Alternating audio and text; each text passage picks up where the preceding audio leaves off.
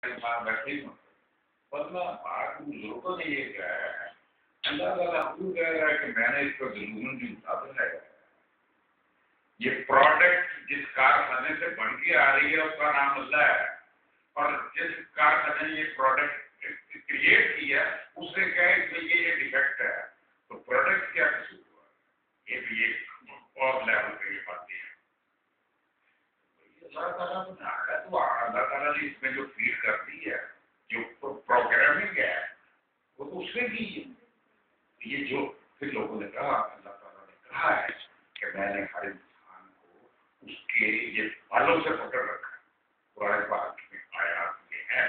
और उनका अल्लाह ताला ने बालों से पकड़ रहा है तो बंदा गलत रास्ते पे जा सकता है। पकड़ा तो आपने हुआ वो अल्लाह जिस रास्ते पे ले जाएगा? बंदा उसी रास्ते